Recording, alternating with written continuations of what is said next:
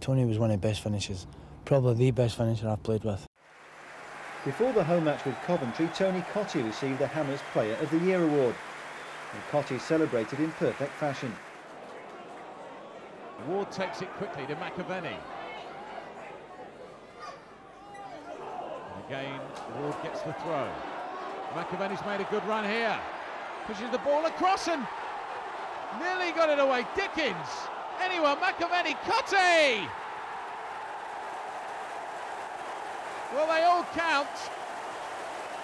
Now that was a sloppy goal for Coventry to concede, but West Ham deservedly take the lead. And Tony Cottee has 24 for the season.